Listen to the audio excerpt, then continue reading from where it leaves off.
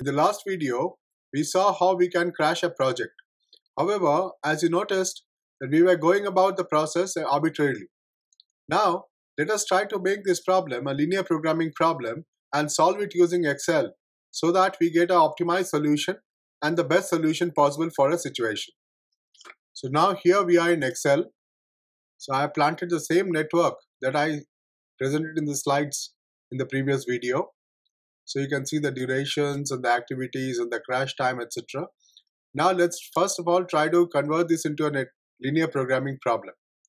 Now you notice that I calculated the ES, EF, LS, LF and the total duration is coming to 36. So this cell basically is telling that it is pointing to this cell and it is showing the total duration of the project. So that's what it is.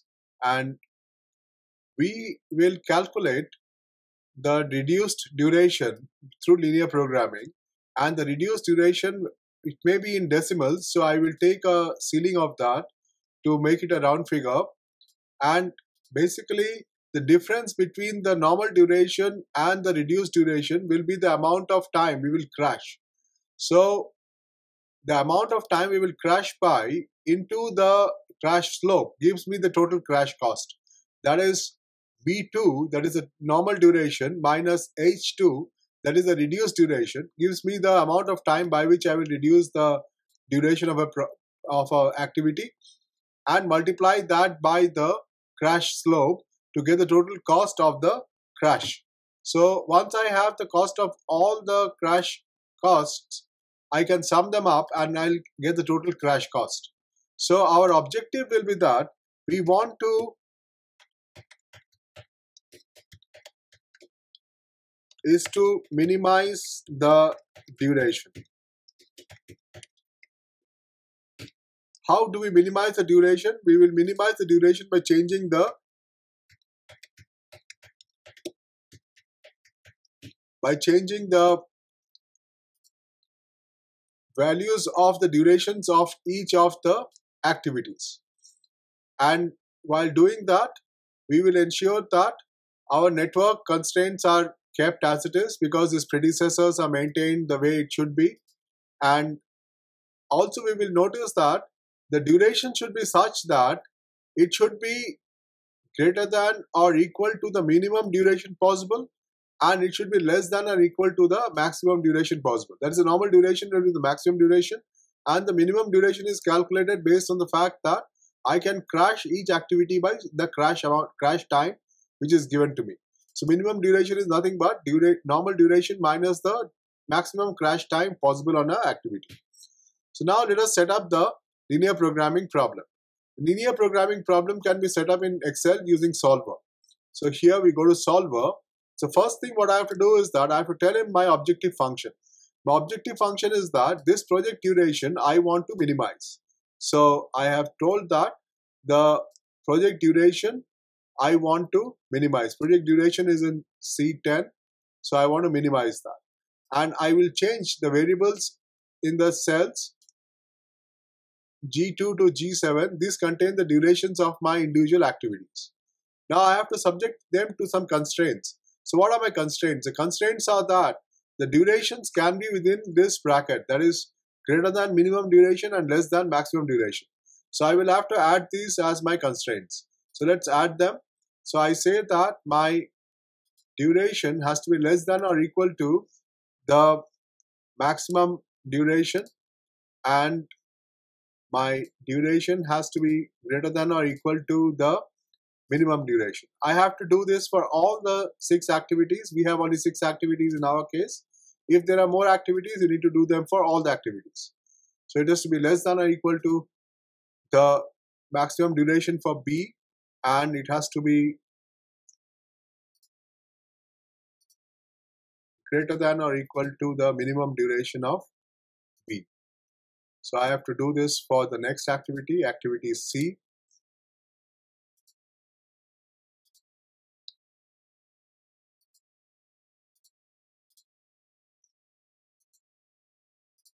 Next for activity D,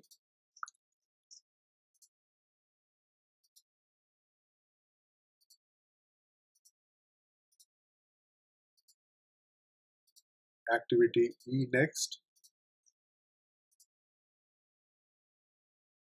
Notice that initially I have given the crash duration is equal to the normal duration. So I can start from this point and then see whether we can reduce the durations or not.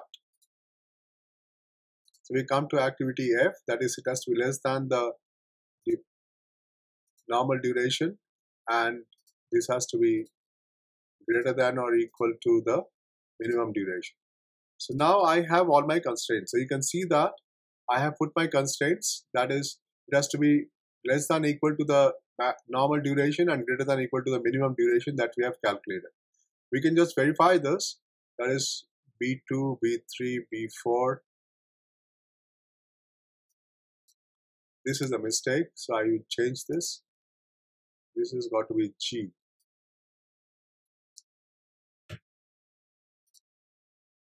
So now we have B2, B3, B4, G5, G6, G7.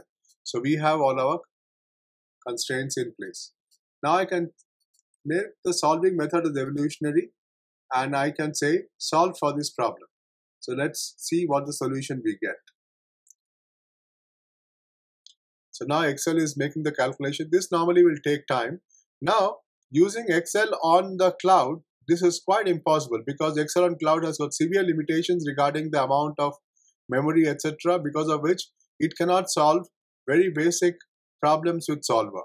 So while we will see the demonstration in Excel on cloud, however, you will need to utilize Excel on your desktops to be able to get solutions for real problems.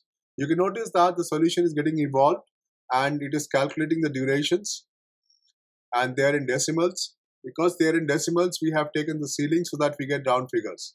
So still the problem solution is being worked out.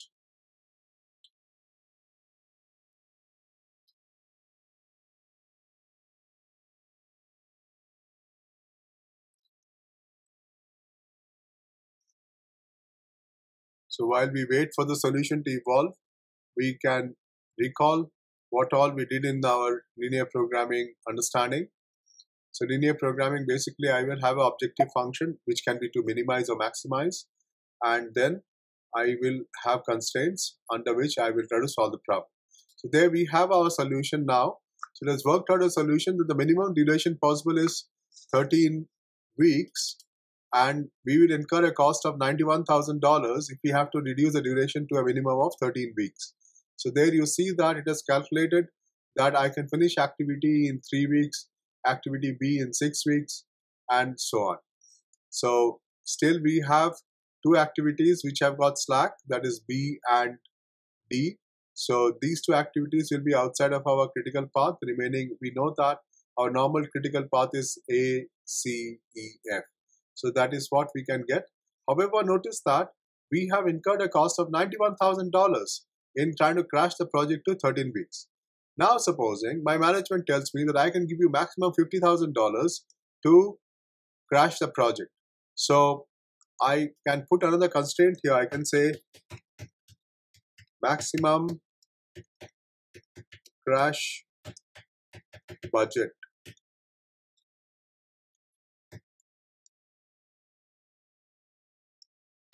Maximum crash budget is equal to $50,000. So I put this constraint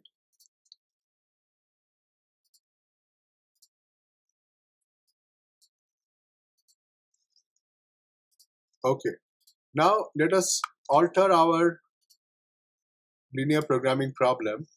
We will add one more constraint now saying that the crash cost should be less than or equal to the maximum budget which is allowable to us that is here.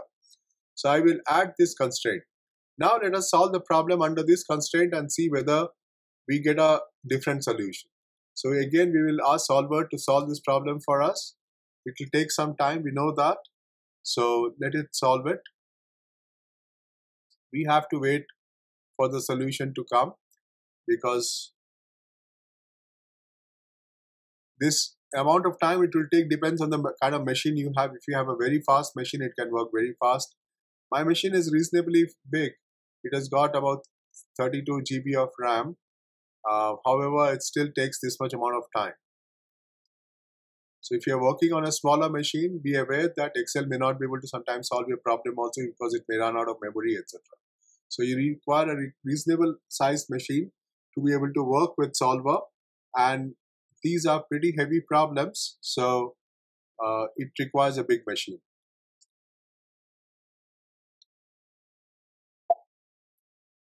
So it seems to have found a solution. So it finds a solution where it can finish the project in 22 weeks and at a cost of $50,000. So you notice that it is crashing the activities A, C, D and E and leaving activities B and D unchanged. So, and we can achieve a crash cost of 50,000 US dollars. So you can see that doing it manually is quite difficult to achieve solutions like this. So we require linear programming and Excel is a tool which can help us in solving these linear programming problems. Now, let us complicate the problem a little bit more. So we go to a second case where I say that while the project is going on, the project is normally going to take 36 weeks. That's what we know, that it is going to take 36 weeks. And uh, but we say that if we, for every week that the project is going on, we are losing $3,500. So now I want to crash the project such that my loss is the minimum. I should occur, incur minimum amount of loss and yet complete the project in the shortest possible time. So I've added one constraint to this particular problem. So I want to now solve this problem. So let us just freeze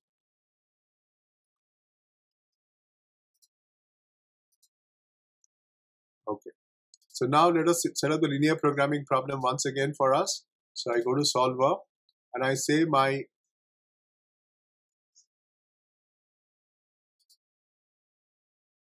objective function is here and I want to maximize the net effect of crashing. Net effect of crashing is basically the amount of loss that I have saved minus the crash cost. So this net effect of crashing should be the highest possible after crashing my network. And I add my constraints now. The constraints are the same what we have done previously. So here I say that the crash duration should be less than or equal to the normal duration and the crash duration should be greater than or equal to the minimum duration. So I have to do this for all the six activities.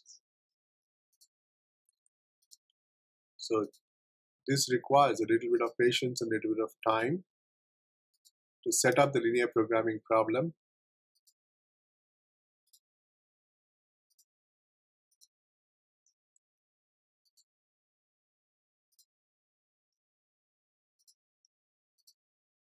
greater than or equal to minimum duration then I go to activity D.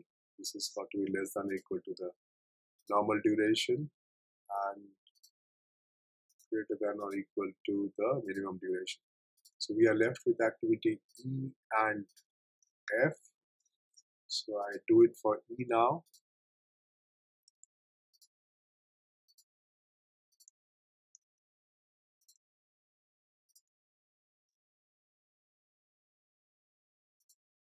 Last we have to do it for f.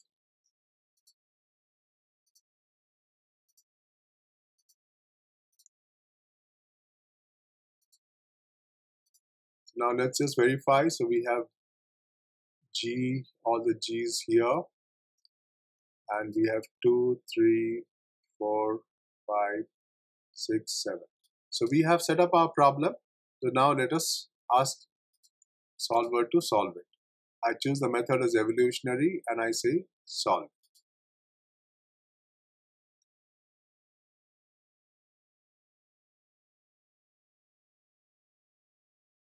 So now solver is setting up the problem. This will take some time.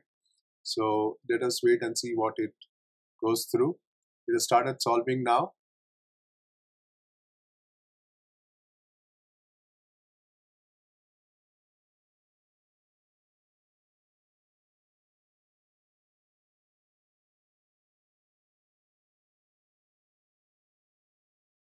So this time what we're trying to do is that we're trying to maximize the impact of crashing. So we want the duration in which we will have saved the maximum amount of loss from crashing our project.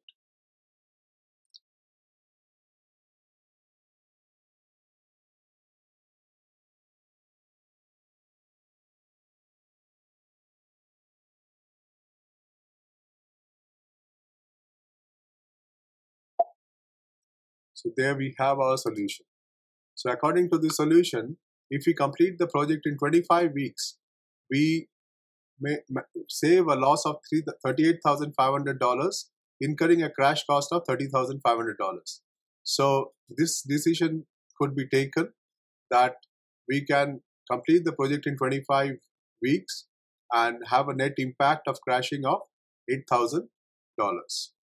From this demonstration, I hope you'd have realized that there are a lot of project scheduling problems which we cannot solve using tools like Microsoft Project or Primavera or things like that. So we require mathematics to solve these problems. And one of the ways to solve these problems is using Excel and applying linear programming problems to solutions for them.